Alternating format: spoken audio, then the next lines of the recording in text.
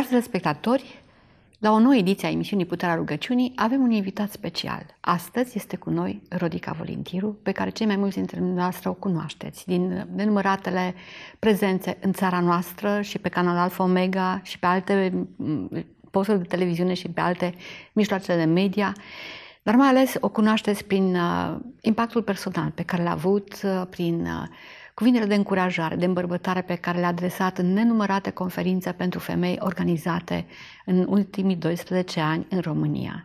Mesajul lui Rodica a fost de ridicarea femeilor și cred că Dumnezeu a lucrat și prin aceste mesaje și prin lucrarea pe care a dat-o Rodicăi, Dumnezeu a lucrat la restaurarea identității femeii din România, a femeii creștine, care mult timp a fost sub uh, presiunea religiozității, a unor limitări uh, pe care, nu știu, tradiția noastră le-a pus asupra femeilor, dar este o vreme nouă când Dumnezeu vrea să își ridice femeile creștine la înțelegerea identității și autorității cu care am fost investite în Hristos, ca să putem fi împreună lucrător cu Domnul, împreună lucrător cu frații din biserici, la marele seceriș care ne stă înainte.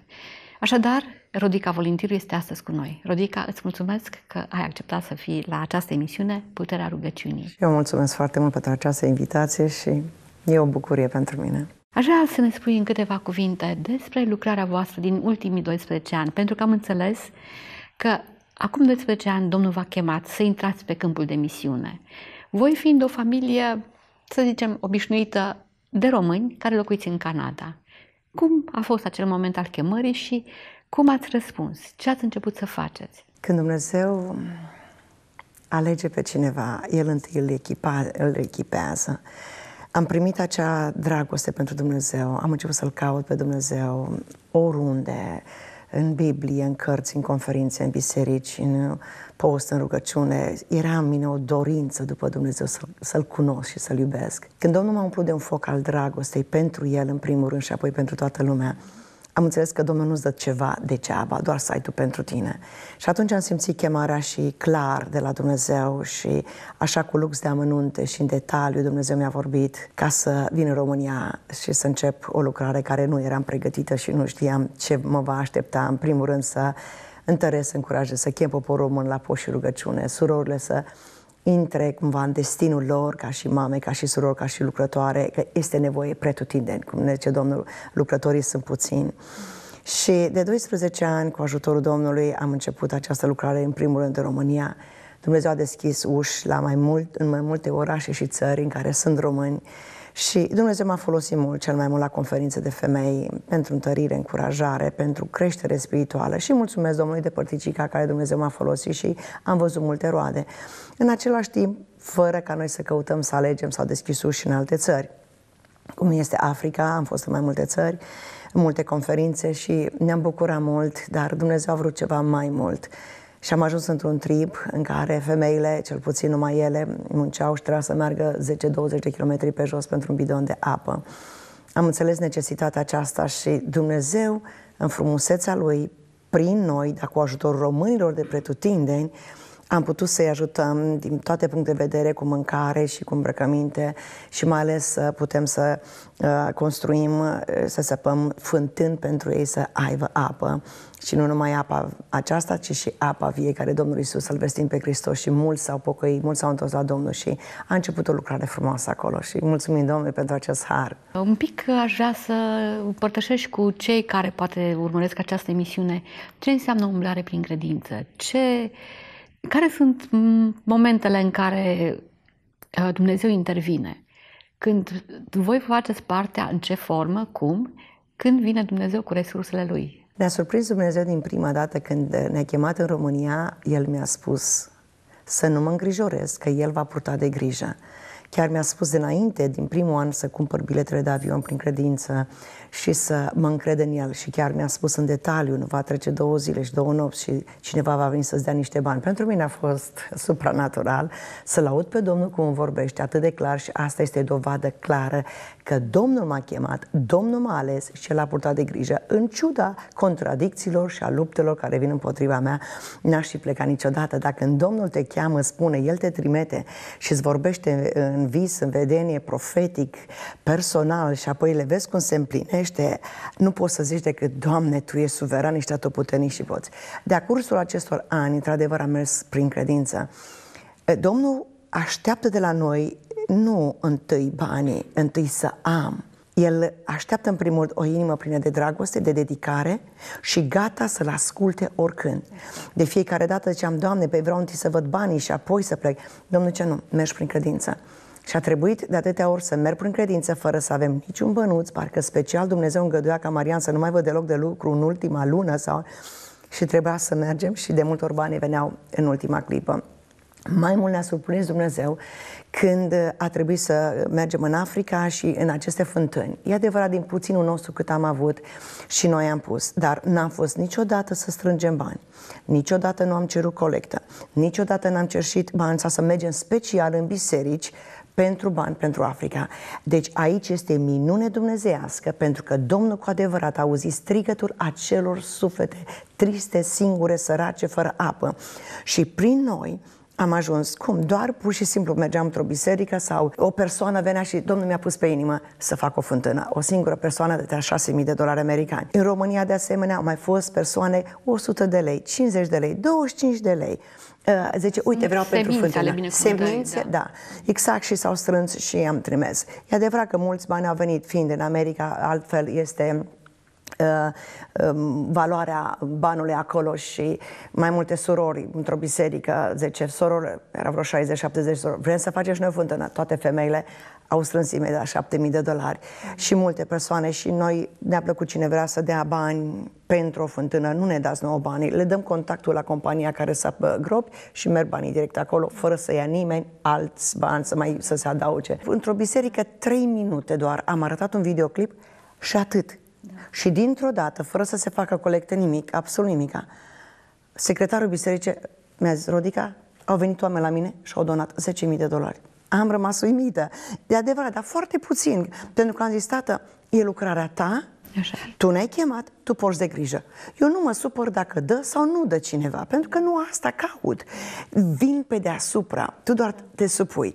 Și contează să se încreadă și Domnul în tine cu resurse. Și Dumnezeu a văzut din inima noastră care totdeauna am dat și dacă n-am avut, am dat. Oriunde ne-am dus, noi dăm, dăm, dăm, chiar dacă noi rămânem fără bani. De așa de frumos totodată și Dumnezeu e Cel care multiplică și dăruiește mai departe pentru binele altora și gloria este Domnului. Este un principiu al împărăției, da? da. că mai, mai ferice să dăruiești yes, așa decât este. să primești. Așa este. Și lucrurile acestea aduc nu numai uh, binecuvântare, dar aduc și împlinire și bucurie, pentru că făcând ceea ce Dumnezeu ne îndeamnă, este o mare binecuvântare. Cred că provocarea, această, această chemare, să zic, pentru români să înceapă să dorească tot mai mult, să pună semințe în lucrările în care Domnul îi motivează să o facă, pentru că în felul acesta se rupe blestemul de sărăcie care Așa este, este peste români. Așa este. Uh, am văzut acest proces ca început în România Slavă, și uh-huh. încetul cu încetul tot mai mulți încep să înțeleagă și să pună semințe ale credinței în diversele lucrări creștine care sunt în țară. Exact. Așa cum ai spus și în lucrarea voastră, români din România au pus semințe ale credinței. Rodica, aș vrea să te întreb acum despre un lucru poate care a fost foarte greu pentru voi. Anul trecut, în 2017, voi erați aici pe câmpul de misiune în România. Mi-aduc aminte foarte bine că eram la ponoare împreună. Da. Și ați primit un telefon de acasă și ați plecat cu inima frântă. Ați trecut pentru o încercare teribilă, dar Dumnezeu a fost acolo. Aș vrea să ne spui, așa cum Domnul pune pe inimă, să fie o încurajare pentru cei care ne ascultă și care poate au trecut sau poate că sunt în pragul să treacă prin astfel de situații. N-am știut, n-am dorit, nu ne-am așteptat ca să se întâmple această tragedie cu băiatul nostru care a plecat la Domnul. Și mai ales fiind în lucrarea Domnului, anul trecut eram, nici n-aș fi vrut să mai vin, multe lupte, oboseală, atacuri de tot felul, căci cu câte implici și mai ales în Africa nu este ușor. Pentru cine nu știe, nu este ușor să fii într-o lucrare a Domnului, mai ales ca și femeie și bărbați de asemenea. Să te duci pe terenuri care sunt grele, unde sunt posesii demonice, unde sunt vrăjitori, unde este idolatrie, unde cuvântul Domnului nu este și tu să te duci să vestești cuvântul Domnului, nu este ușor, chiar dacă ne-am rugat, chiar dacă am postit. Diavolul pe orice cale vrea să te oprească, mai ales când vede roade și este efectivă lucrarea care o faci și Domnul este cu tine. Și mulți poate pun întrebarea, dar de ce? De ce Dumnezeu a îngăduit? Asta mi-a fost și mie întrebarea care m-a chinuit poate 6-7 luni de zile. De ce, Doamne? Dar nu uitați un lucru, noi suntem în război spiritual. Suntem pe acest pământ în care diavolul este stăpân. Noi trebuie să ne luptăm. Noi trebuie să mergem înainte, chiar dacă o săgeată sau un glonte tot te rănește, dar mergi sângerând și mergi mai departe. Nu știi ce s-a întâmplat, deci așa ca o claritate pentru mulți care aruncă cu pietre să nu înțeleg. Băiatul acesta, Paul, a fost un copil făgăduit de când eram gravidă cu el. Domnul mi-a spus, acest copil e pus deoparte pentru mine. Atât m-am bucurat să auzi vocea Domnului să spun acest lucru și am văzut acest lucru de când l-am născut. Am avut uh, sarcina cea mai ușoară, nașterea cea mai ușoară. L-am întrebat pe Domnul cum îl cheamă pe acest copil când l-am născut. Domnul mi-a spus clar, Paul. Am avut viziunea Apostolului Pavel, așa va fi. N-a fost niciodată bon la copilul ăsta, a fost cel mai bun, cel mai comite, cel mai, cel mai, cel mai. E adevărat, la vremea tinereții, 18 ani, era căutare după identitate. Dar amintirile noastre despre el a fost un înger în casa noastră. Deci nu avem nimic negativ să poți să spui. În toate era bun, cu minte. Ce să zic, slavă, se ruga, postea câte 3-4 zile. De mic copil, auzea vocea Domnului, de multe ori zic, Paul, hai să ne rugăm, spunem tu ce ți-a zis Domnul în situația cu tare sau cu tare. Am știut parcă a fost atât un ajutor potrivit pentru mine, lucrare, slavă Domnului. Dar știu că diavolul nu-i place ceea ce facem și a încercat cu atacuri și chiar am fost amenințată înainte. În timp ce eram la scoaterea demonilor, demonii au început chiar să mă amenințe că mă va ataca și mă va ataca copiii. E adevărat, zic, tată, tu ești în control, eu voi merge în lucrarea care tu m-ai chemat. S-a dus la un prieten de-a lui acasă și era foarte obosit, am înțeles și ar fi dat ceva ca să se întărească puțin, o să fie mai tare. energizantă, probabil. Da, ceva da. energizant, neștiind că nu știu, de aceea nu, nimeni nu știe decât Dumnezeu. Poate cu voia sau fără voia lui, din curiozitate, nu știm, dar știam că el era foarte tare și știa că anumite medicamente mai tari sau droguri sunt mortale și nu s-ar, nu s-ar fi atins dacă știa. Când cineva moare, indiferent din ce, îl găsești trântit în față, în spate, dar nu în genunchi. Pentru mine a fost așa o mângâiere. Că, când ni s-a spus că l-a găsit în genunchi, a fost mort o oră 20 de minute. Și Dumnezeu a îngăduit să-l uh, aducă din nou la viață, inima începe să bată, dar pentru că creierul a rămas fără aer, o oră 20 a fost mort. Am mai fost în coma 13 zile în care a fost testul credinței noastre.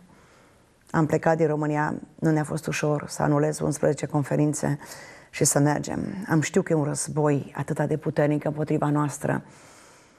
În același timp, în subconștientul meu, în inima mea, am știut că de aici ceva Dumnezeu are de lucru. Dumnezeu nu te părăsește și te lasă, lasă așa trebuie. Sau nu. Eu am știut, nu m-am simțit vinovată cu absolut nimic. Eu am investit în copiii mei cât am putut de mult, tot timpul asta cu ei. Soțul meu nu m-a lăsat la muncă, stai acasă cu copiii. În afară de momentul când am venit în România, post, rugăciune, cuvânt, eu îl iam după nu cu lingurița, cu găleata. Dar vine vremea deciziei fiecăruia și știți cum e. Mulți au experiențe, cum și eu am trecut prin voi, prin dealul și apoi Dumnezeu m-a ridicat. Dar n-a fost ușor. 13 zile am avut o credință, vă spun, de mutamunții. Nu am plâns, că am știut în fiecare minut, credeam că Domnul va ridica din comă. Atâta lume s-a rugat, știu, și atâta lume a simțit cu noi. Cu toate acestea, decizia Domnului a fost altă decât a noastră și nu ne place.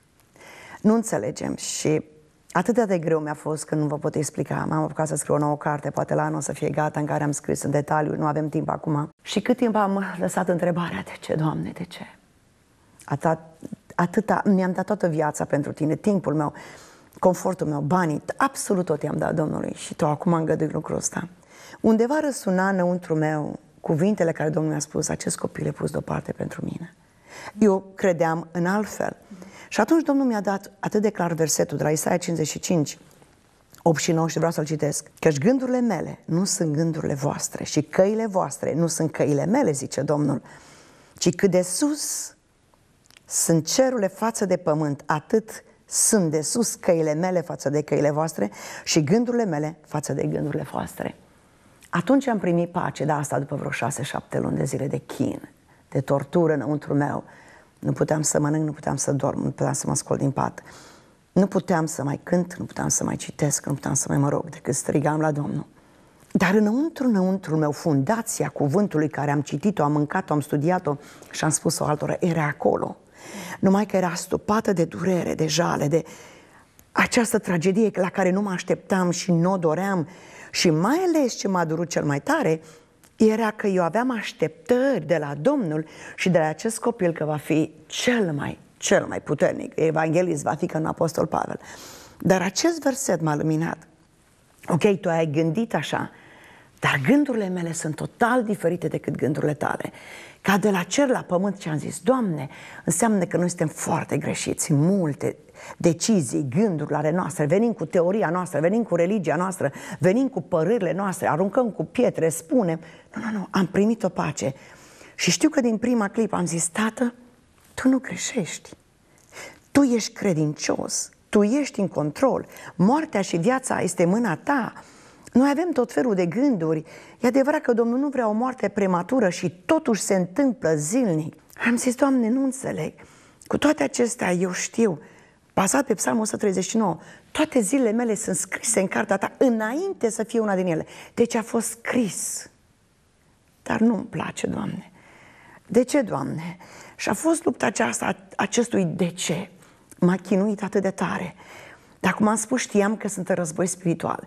Și ultimele cuvinte a lui Paul, care înainte să plecăm în România anul trecut, discutând cu el mai multe, că era foarte matur și orice împărtășeam cu el, luptele noastre, lipsurile noastre, bucurile noastre, mi-a zis un lucru care l-am spus mereu și îl voi spune, care ne-a ajutat să ne ridicăm. Și a zis, mam, dad, atât de mândru sunt de voi, de tot ceea ce faceți pentru Domnul. Mama, ai scris patru cărți, este atât de minunat. În Africa vreau să merg și eu vreau și o să construiesc acolo, să-mi găsesc servici, de-abia terminase liceu. Și zice, indiferent de opoziția care o aveți, indiferent de luptele prin care veți trece, indiferent că vă bârfește lumea, indiferent de atacurile demonice și indiferent ce se va întâmpla cu mine. Niciodată Niciodată nu renunța la lucrarea Domnului la care te-a chemat. Nu-l lăsa pe diavolul să câștige, care în toți acești 12 ani, pe toate căile a încercat să te oprească. Dar uite câte lucrări mari a făcut Dumnezeu prin voi. Sunt mândru de voi, mam, chiar dacă uneori ne-a fost greu. Zice, și îmi dau seama cât de greu v-a fost vouă să ne lăsați pe noi, dar nu i-am pe străzi, că am avut cine să stea cu ei și le-am lăsat toate resursele care aveau nevoie. Să mergeți la alții care nu-i cunoașteți și care vă și lovesc pe deasupra, m-am sunt mândru de voi. Și apoi îmi spune, mam, dacă tu renunți la lucrarea Domnului, înseamnă că mai ai de lucru. Încă nu ești destul de calificată pentru ceea ce vrea Domnul pentru tine. Așa m-am bucurat, l-am luat în brațe și atâta l-am strâns. Că am zis, Paul, atât de mult îți mulțumesc, ce mie îmi place provocările, aleargă, aleargă, în felul ăsta crești spiritual. Depinde de nivelele la care sunteți și mai ales cei care sunt în lucrarea lui Dumnezeu. Îngăduie încercări și chiar se retrage. Dumnezeu are două feluri de lucrare, prin manifestare, în care îți vorbește, în care simți, în care îți dă Domnul semne și minuni. Dar are momente când vrea să te învețe altceva, să te ducă la un alt nivel, se retrage.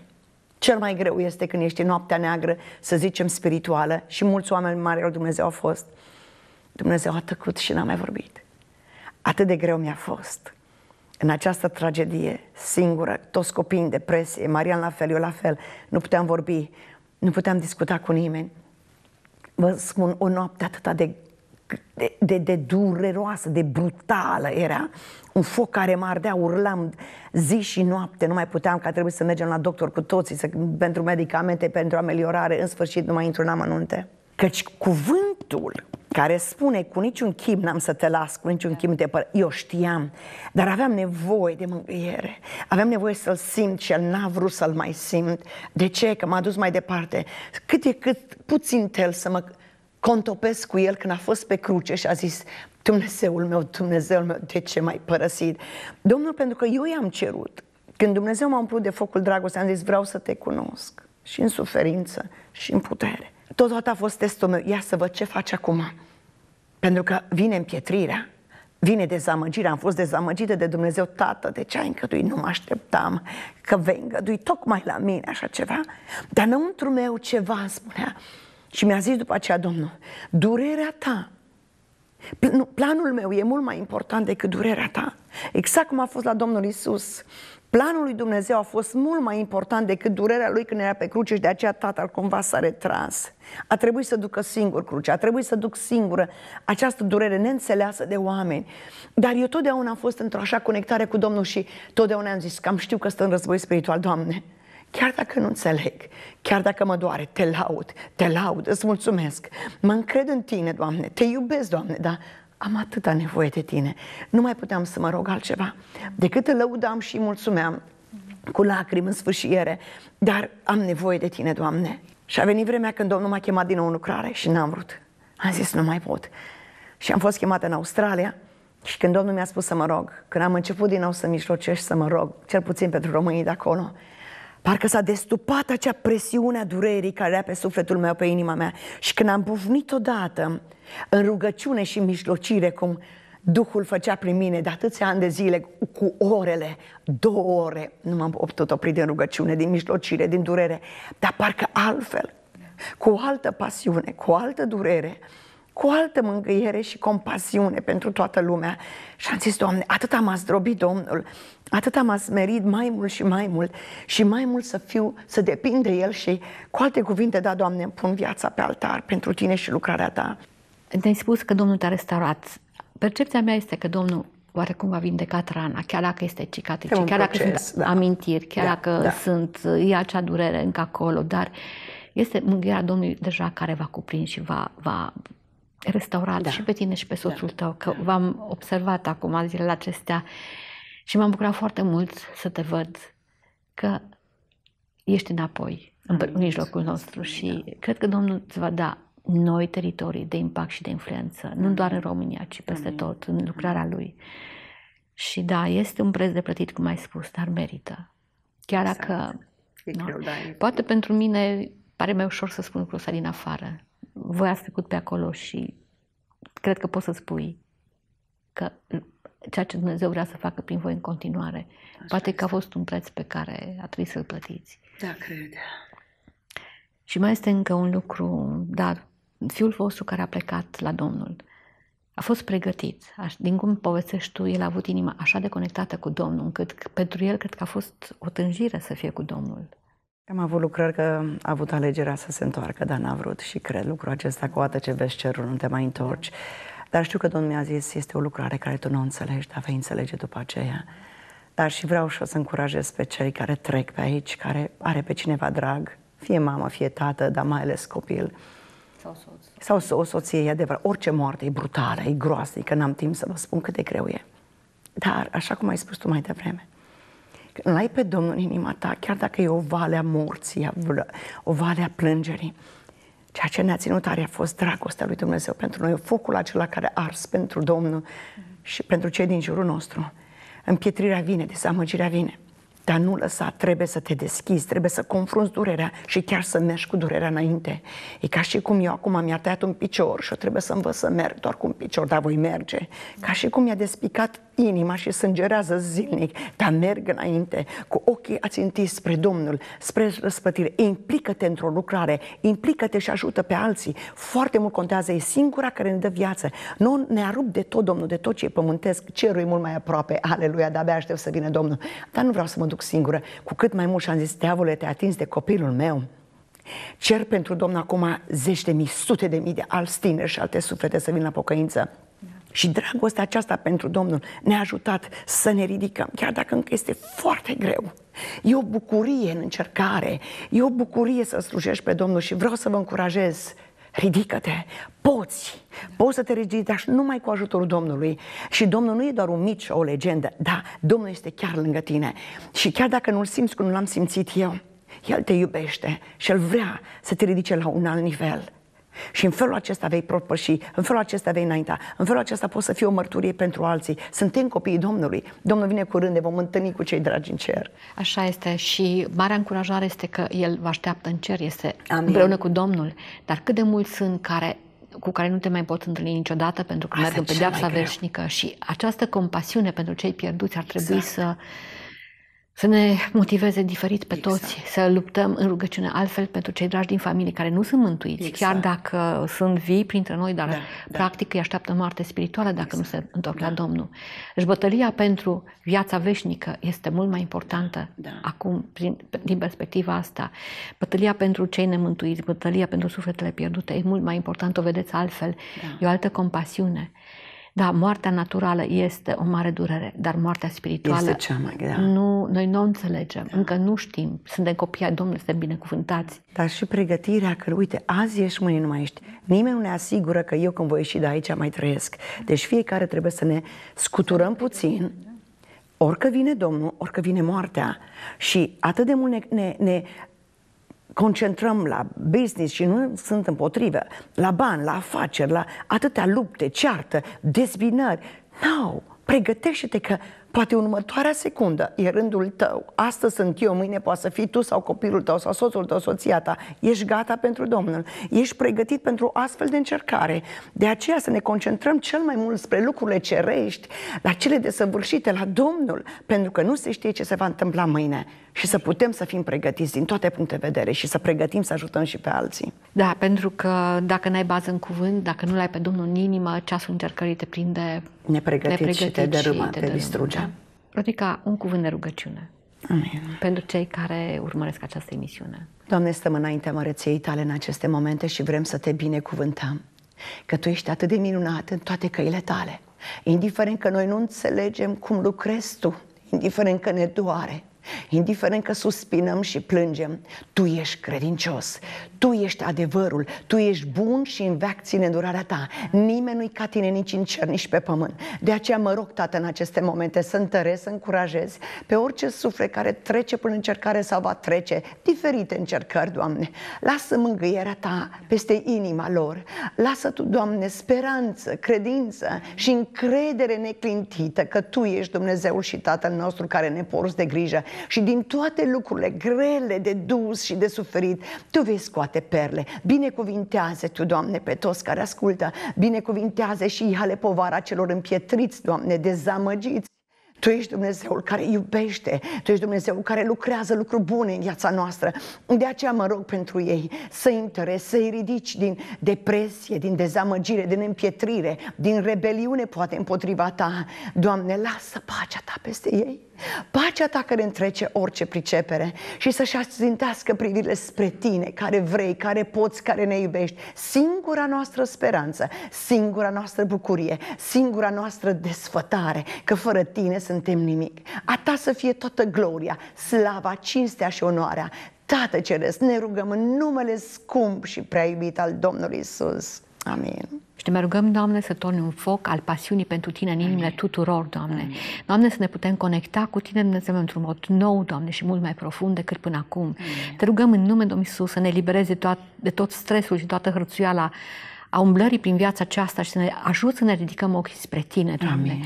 Într-o vreme care este așa de tulbure, de confuză și de agitată, te rugăm, Doamne, să lași pacea Ta, Doamne, în inimile și în sufletele noastre și ajută-ne să alegem corect pentru fiecare clip a vieții noastre, unde investim timp, unde investim sufletul nostru, unde ne investim inima. În numele Domnului Iisus Hristos ne-a rugat și îți mulțumim. Amin. Amin. Rodica, îți mulțumesc pentru această emisiune, pentru participarea ta la această emisiune, care cred că va ajuta pe foarte mulți. Dumnezeu să vă binecuvinteze, Amin. să vă ajute să prosperați, să propășiți tot mai mult, Amin, să mulțumim. înfloriți voi și familia voastră Pentru și slava lucrarea, Domnului. și lucrarea în care Domnul v-a chemat spre slava Lui, spre slava Lui. Amin, Fiți, bine, amin. fiți binecuvântați. Mulțumim, mulțumesc și foarte mult, Domnul să vă binecuvinteze. Dragi telespectatori, a fost o ediție specială a emisiunii Puterea Rugăciunii. Nu uitați să vă rugați pentru focul pasiunii pentru Domnul în inimile fiecare dintre noi și pentru mântuirea celor dragi. Fiți binecuvântați de Domnul!